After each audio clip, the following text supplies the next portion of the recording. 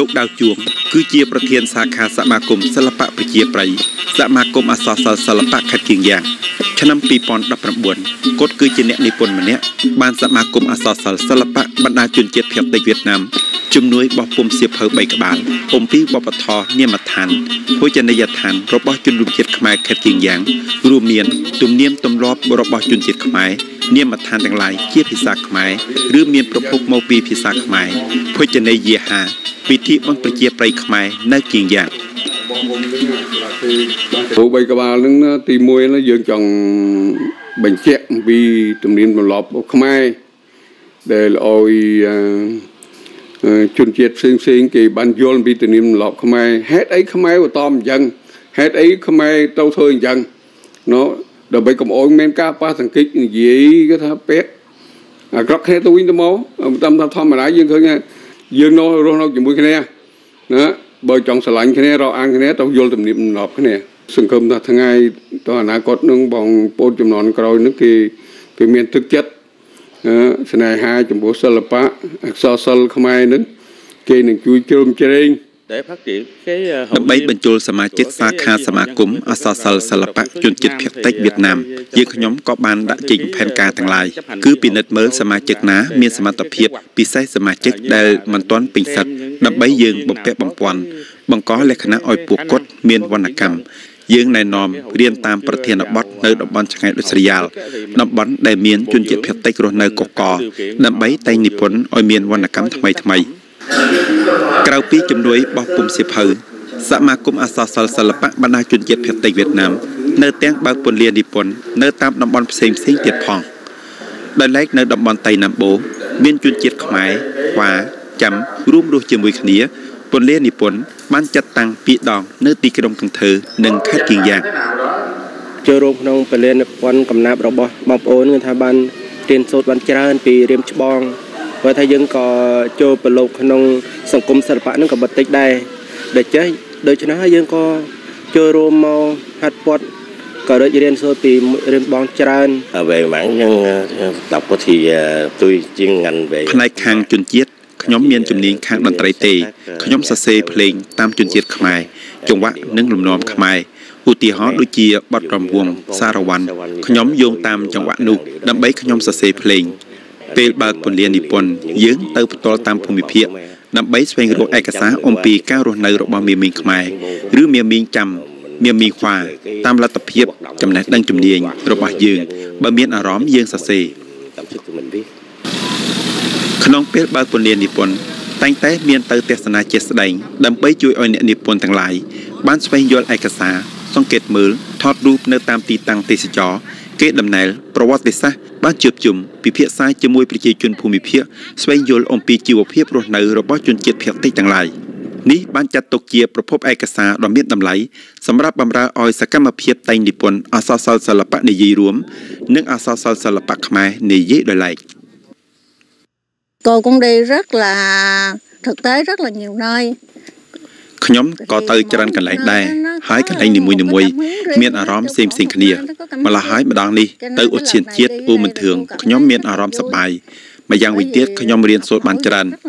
ព្រោះក្នុងពលានិពន្ធមានបងប្អូនដែលមានបទពិសោធន៍ច្រើនក្នុងនោះមានបងប្អូនខ្មែរខ្ញុំក៏និពន្ធបានច្រើនដែរដូចជាអសរសិល្ប៍កំណាប់ហើយក្នុងពេលកន្លងខ្ញុំក៏សរសេរអំពីជនជាតិនោះដែរនោះគឺវត្តនិងទំនៀមទម្លាប់របស់ខ្មែរណាំបូ nói chung là anh em និយាយរួមបងប្អូនអ្នកអសរសិល្ប៍សិល្បករសិល្បករនីមានកំណត់ថ្មីថ្មីតាមរយៈពលានិពន្ធទី1យើងខ្ញុំចង់ជំរុញកម្លាំងតែងនិពន្ធរបស់កវីនិពន្ធម្នាក់ម្នាក់ទី2សាមគ្គីគ្នារវាងជនជាតិទាំងឡាយនៅភូមិភាគកណ្ដាលភូមិភាគខាងជើងនិងភូមិភាគខាងត្បូងដើម្បីជំរុញចលនាតែងនិពន្ធសម្រាប់សមាគមទាំងមូលពន្លានិពន្ធនៅខេត្តគៀងយ៉ាងបានបើកពីថ្ងៃទី3តុលាដល់ថ្ងៃទី9តុលា2023កន្លងហើយបានជួបជុំបងប្អូនសមាជិកសមាជិកា32នាក់មកពី9ខេត្តក្រុងកាម៉ៅបាក់លីវសុកតាំង កឹងធើអាងយ៉ាងវិញឡុងត្រាវិញនិងឋានវ៉ាផ្ដើមពីនោះគណៈចតាំងទទួលបានទាំងអស់108វណ្ណកម្មរួមមានអត្ថបទកំរងកំណាប់គម្រោងសៀវភៅរឿងខ្លីការសិក្សាស្រាវជ្រាវចម្រៀងខ្មែរកំរងរឿងល្ខោនបាសាក់ឈុតរបាំរូបថតជាដើម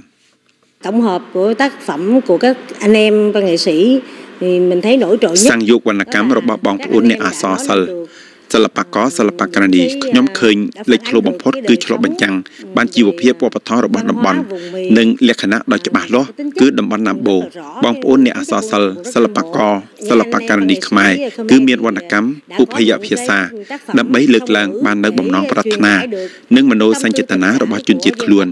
ហើយសម្របខ្លួនចូលក្នុងសហគមន៍ជនជាតិវៀត វាមានការទំនាក់ទំនងនិងសម្របចូលជាមួយខឿនវប្បធម៌រួមរបស់ជាតិ để có thể có được những hiệu quả tốt hơn và chuyên sâu hơn tôi ដើម្បីឲ្យមានប្រសិទ្ធភាពល្អជាងទៀតខ្ញុំគិតថាគួរបើកកិច្ចពិភាក្សាសន្ទនាឬអង្គសិក្ខាសាលាឆ្លាស់គ្នាជាមួយការសម្ដែង ធ្វើយ៉ាងណាអាចលើកឡើងមកបញ្ជាក់បានបញ្ហា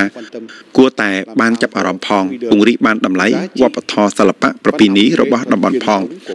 ប៉ុន្តែក៏ត្រូវតែផ្លុំឲ្យបាន ជំនួថ្មីជាខ្លឹមសារជីវភាពរស់នៅទំនើបក្នុងវណ្ណកម្មអក្សរសិល្ប៍សិល្បៈនេតសាស្ត្រដូច្នេះទើបអាចបំពេញបានតម្រូវការរបស់ប្រិយមិត្តអ្នកអានក៏ដូចជាទស្សនាសិល្បៈដោយច្បាស់លាស់ជាង một cách rõ hơn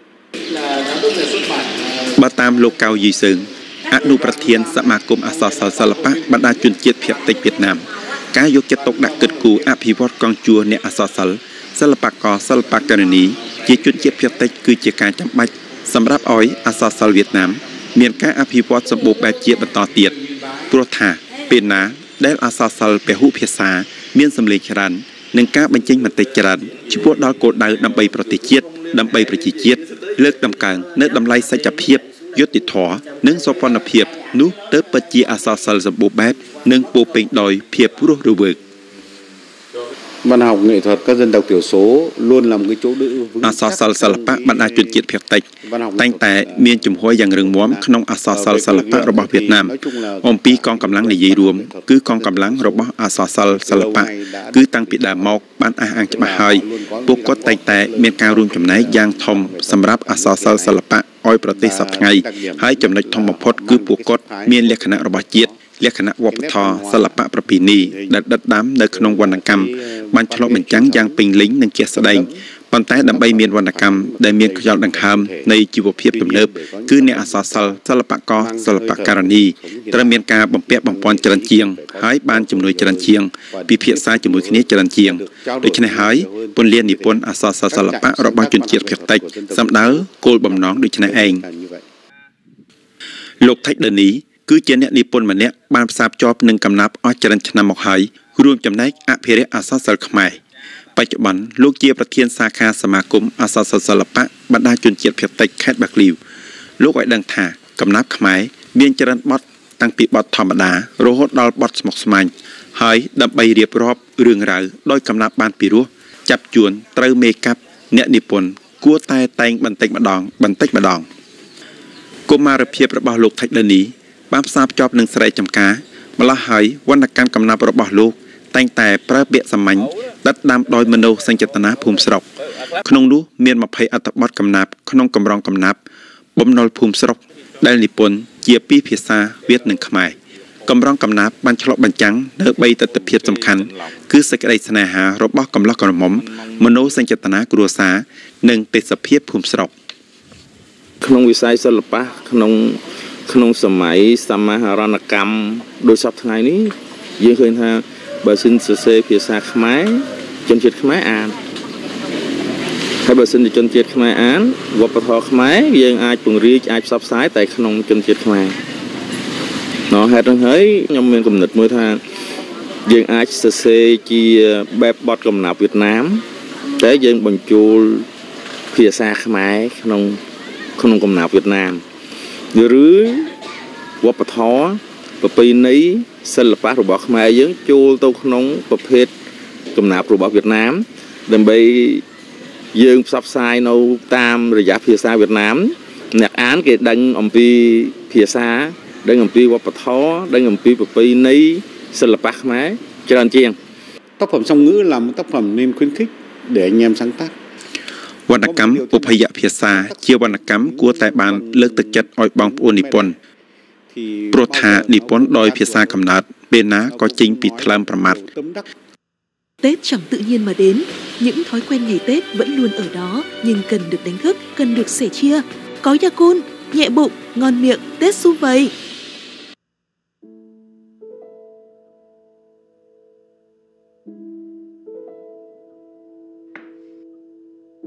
Một vị bia vàng làm nên sắc Tết.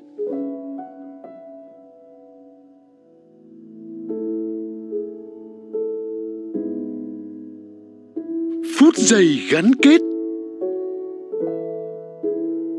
Hạnh phúc đong đầy.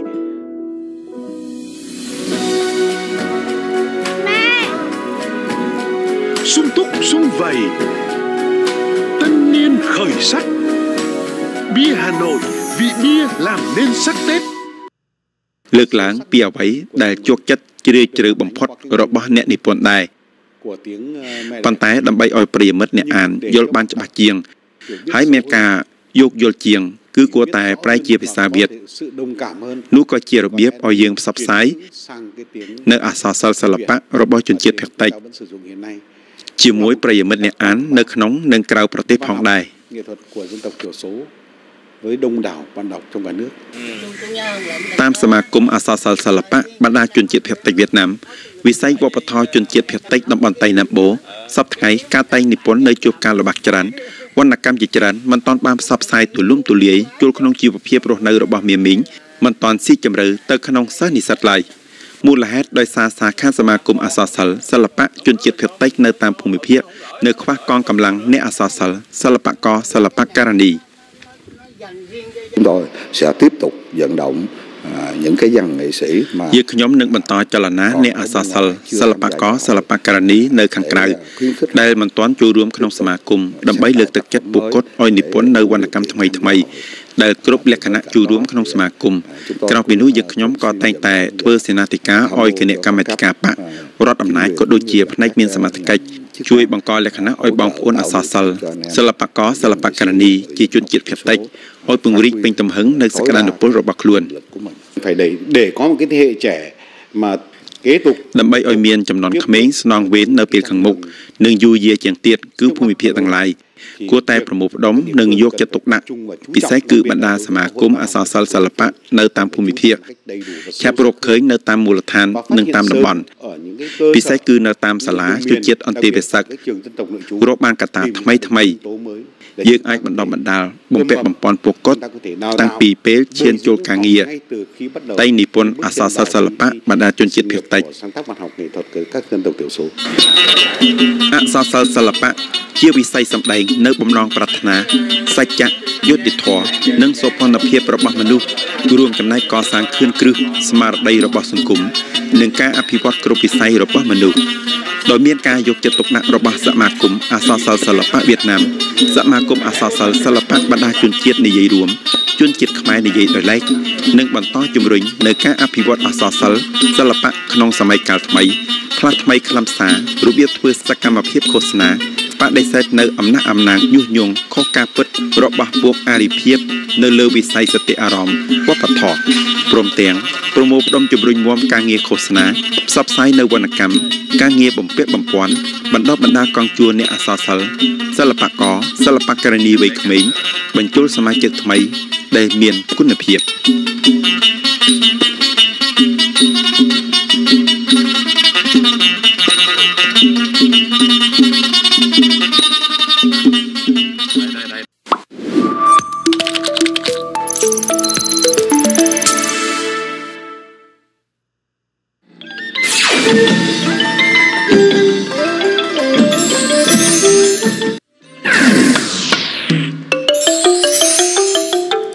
វភាពខាងស្មារតីរបស់មេមីងខ្មែរទន្ទឹមនឹងតម្លៃអំពីស្ថាបត្យកម្មសិល្បៈចម្លាក់វងភ្លេងពិនពៀតបានចាត់ទុកជាទ្រព្យសម្បត្តិវប្បធម៌ដ៏មានតម្លៃជាឧបករណ៍ភ្លេងមិនអាចខ្វះបានក្នុងឱកាសបន្ទានរបស់ជនរួមជាតិខ្មែរឡើយ ចង្វាក់រំវងក៏បានចាត់ទុកជាផលិតផលស្មារតីដ៏អស្ចារ្យក៏មិនអាចខ្វះបានក្នុងឱកាសបន្ទាននិងការប្រជុំជីវភាពខាងវប្បធម៌របស់ជនរួមជាតិខ្មែរដែរក្រៅពីរំវងរបាំក៏ជាតម្លៃវប្បធម៌ដ៏ពិសេសមួយរបស់ជនរួមជាតិខ្មែរណាំបូផងដែរគឺជាទម្រង់សិល្បៈរបាំប្រជាប្រិយរបស់មេមីងខ្មែរកាលពីបុរាណ ប្រជុំនឹងភាពជាស្ដែងខាងលើមន្ទីរវប្បធម៌កីឡានិងទេសចរបានចងអល់ការឲ្យក្រុមសិល្បៈខ្មែរខេត្តស្តុកចាំងបើកច្រានថ្នាក់បង្រៀនសិល្បៈរបាំភ្លេងពិណពាទ្យនិងក្បាច់ក្រមវងតាមរយៈគម្រោងការអភិរក្សអភិវឌ្ឍនៅតម្លៃវប្បធម៌ប្រពៃណីល្អប្រសើររបស់ជនជាតិភាគតិចផ្សារភ្ជាប់ជាមួយនឹងការអភិវឌ្ឍទេសចរ ដើម្បីយល់ច្បាស់ជាងអំពីខ្លឹមសារទាំងឡាយខាងលើសូមអញ្ជើញទស្សនិកជនរងចាំតាមដានកម្មវិធីទូរទស្សន៍ខេត្តផលិតដោយស្ថានីយ៍វិទ្យុនិងទូរទស្សន៍ខេត្តស្តុកត្រាំងបានផ្សាយនៅវេលាម៉ោង7ព្រឹកថ្ងៃទី22កុម្ភៈឆ្នាំ2024លើប៉ុស្តិ៍ VTV5 តេស្តណាំបូក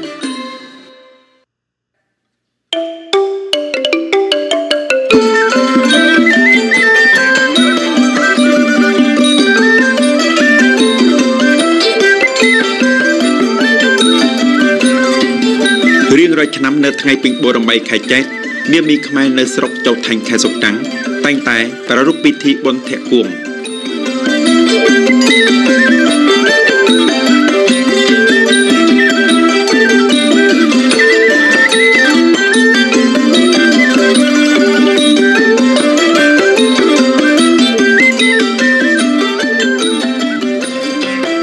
អត្ថន័យរបស់ពិធីបុណ្យធាក់គួង ក៏ប្រហាក់ប្រហែលនឹងបុណ្យកំសាន្តស្រុកដែរជំនាញជនគ្រប់រូបអញ្ជើញមកចូលរួមពិធីបុណ្យដោយបំណងចង់ឲ្យបានសេចក្តីសុខសេមខ្សានការងាររកស៊ីបានងាយស្រួលតែយវត្ថុទាំងឡាយក្រៅពីទៀនធូបស្លាមលូភាកច្រើនគឺដូងផ្លែដូងបានកាត់ស្មើពីមុខមុខលើដុតធូបធ្វើទៅជាស្លាថដូង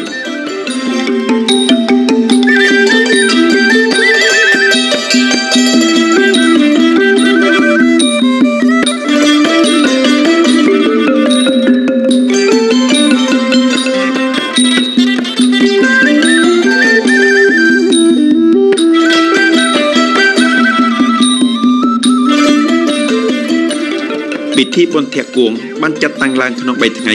ជាមួយពិធីកិច្ចផ្សេងផ្សេងតាមជំនឿប្រជាប្រិយនិងបវេណីព្រះពុទ្ធសាសនានេះគឺជាបុណ្យប្រជាប្រិយមួយបានក្លាយជាលក្ខណៈវប្បធម៌ពិសេសរបស់មាមីងខ្មែរនៅខេត្តសុកតាំងបច្ចុប្បន្នពិធីបុណ្យនេះមិនមែនមានតែជនជាតិខ្មែរចូលរួមប៉ុណ្ណោះទេ នៅមានទាំងជនជាតិកិញ្ញជនជាតិវ៉ានៅក្នុងនិងក្រៅខេត្តអញ្ជើញមកបួងសួងសូមឲ្យភ្លៀងខ្យល់ទៀងទាត់ ដំណាំបានភោគផល និងជីវភាពរស់នៅសុខក្សេមក្សាន្ត